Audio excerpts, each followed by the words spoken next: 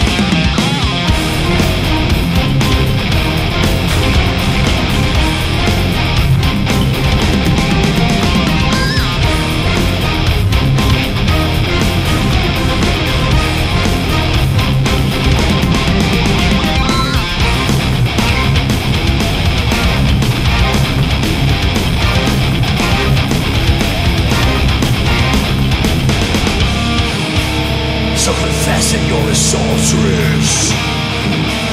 I've never done these things. We'll send you to the